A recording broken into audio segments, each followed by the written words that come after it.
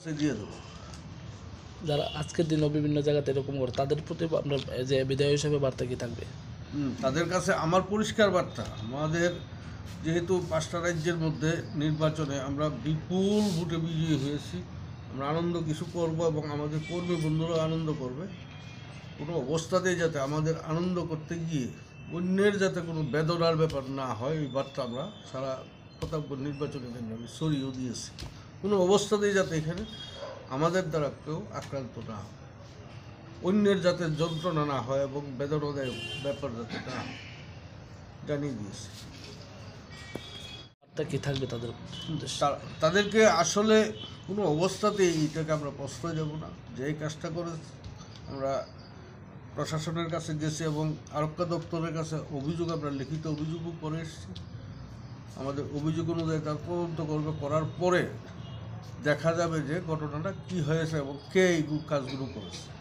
আচ্ছা বিভিন্ন জায়গাতে একটা বাইক বাহিনীর নাম এটা চলা চলছে মানে বিভিন্ন জায়গাতে হামলা উজ্জুতি চালাচ্ছে। এই বাইক বাহিনীটা কে পরিচালনা কি মনে হচ্ছে? আসলে তো বিজেপি দল ক্ষমতায় আসার পরে এবং আঠারো নির্বাচনের নমুনা দেখে আমাদের ফ্লো দেখে অনেক কর্মী কংগ্রেস দল থেকে সিপিআইএম দল থেকে আমাদের সাথে এসে যোগদান করেছে এবং তারা এখনও আমাদের সাথে আছে। কিন্তু সিপিআইএম দলের কিছু লোক যে আসেনি তা না, তারাও এসছে। এখন তারাই এটাকে আগুন জ্বালিয়ে দিয়ে এবং এটাকে উত্তপ্ত করে দিয়ে এলাকাটাকে চিহ্নিত করার জন্য এগুলো করে যাচ্ছে। আসলে আমি যতটুকু জানি, সারা রাজ্যের মধ্যে যতগুলো কেন্দ্র আছে, অর্থাৎ বিধানসভা কেন্দ্র আছে, বিধানসভা কেন্দ্রের মধ্যে যদি রাজ্যের থেকে চোজ করে নিতে হয় তিন চারটা ভালো কেন্দ্রের সাথে আমাদের প্রতাপগড়ের নামটা যুক্ত থাকে। এবং আমি পরিষ্কার যেটা দেখেছি প্রতাপগড়ের মিছিল যতক্ষণ পর্যন্ত মাঠে না যায় ততক্ষণ পর্যন্ত মাটি পরিপূর্ণ হয়। তাদের মিছিলটাই শহরের উপর দিয়ে গেলে, তারা প্রতাপগড়ের মিছিল গেলে মানুষ তাকিয়ে থাকে মিছিলটা দেখার জন্য অপেক্ষা করে। যেহেতু আপনারা শাসনে রয়েছেন শাসক দলের আপনি একজন বিধায়ক সেই জায়গাত এই যে বাইক বাহিনী বা হেলমেট বাহিনী মানুষের বাড়িতে এরকম ঘটনা ঘটাচ্ছে আপনারা কেন ব্যবস্থা নিচ্ছেন না? আমরা আমরা হুজ্জতি করতে দেব না এখন আমরা প্রস্তুতি নিয়ে নিয়েছি। আপনারা- নিশ্চয়ই জানেন যারা প্রিন্ট মিডিয়া ইলেকট্রনিক্স মিডিয়ার আপনারা যারা আছেন আমি পর পর তিন দিন ক্রমান্বয়ে নেশা বিরোধী অভিযান করেছি, আমি কর্মী বন্ধুদেরকে নিয়ে, মা বন্ধুদেরকে নিয়ে স্বতঃস্ফূর্তভাবে সবাই এগিয়ে এসছে। এবং এটা বন্ধ করার জন্য আমরা চেষ্টাও চালিয়ে যাচ্ছি। এবং যাই কিছু ঘটনা কোনো তার মধ্যে ড্রাগ রোগের ব্যাপার আছে ড্রাগ ব্যবসায়ী যারা তাদের মধ্যে একটা অংশ এটার সাথে যুক্ত আছে।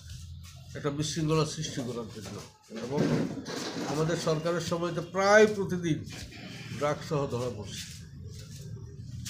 যাতে বিশৃঙ্খলা সৃষ্টি করতে পারে তার জন্য একটা গ্রুপ তৈরি হয়ে বসে আছে এবং তারা আমাদের লোক না তাদের লোকই আমাদের সাথে এসে যোগদান করেছে এবং আমাদের পাশে আছে দেখাচ্ছে তারা। আসলে পরিকল্পিতভাবেই তাদেরকে পাঠানো হয়েছে এবং এগুলো করার জন্য তাদেরকে উৎসাহিত করা। তাহলে আপনার কী মনে হচ্ছে এই বাইক বাহিনী দলটাকে কে কে পরিচালনা চালাচ্ছে মানে কী মনে হচ্ছে?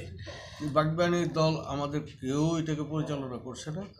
তারা নিজেরার থেকে বা সিপিআইএম দল ইন্ধন যুগিয়ে যুগে এগুলো করে যাচ্ছে বলে আমার যেটা ধারণা। এখন কি আপনারা কোনো এ, এই বিষয়ে ব্যবস্থা নেবেন যে নিশ্চয়ই ব্যবস্থা নেব এবং যারা আমাদের দলের নামে বদনাম করছে তাদেরকে আমরা কোনো অবস্থাতেই রেহাই দেবো না। আমরা বলেছি মিটিংয়ের মধ্যেও বলেছি এবং এখনও বলছি তাদের নাম তালিকাভুক্ত করে আমরা দিয়ে দেবো। দিয়ে দেবো। যারা আজকের দিনও বিভিন্ন জায়গাতে এরকম করে তাদের প্রতি আপনার যে বিদায় হিসেবে বার্তা কি থাকবে?